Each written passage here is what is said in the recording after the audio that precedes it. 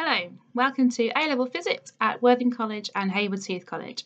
My name's Helen Bloomer, I'm a physics teacher at Worthing College and I'm going to give you an overview of what you can expect when you come and study with us in September.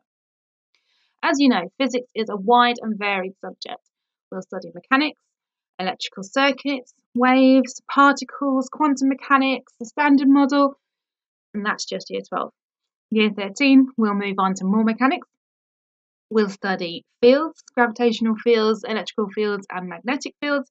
We'll also study nuclear physics. We'll finish the two years with a module called Turning Points, which is also known as very cool physics, such as wave particle duality, special relativity, black body radiation, and loads more. It's going to be a busy two years. You'll have three exams at the end of it, and you'll get a grade from A star to E. You'll also get a practical endorsement, which you'll work on throughout the two years. A levels in physics um, open so many doors.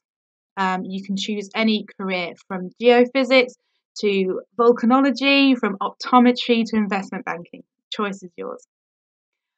All you need to do is your Getting Ready 4 pack. Um, just head to the college website and look for the link. And we will look forward to welcoming you to our outstanding college group in September. See you then.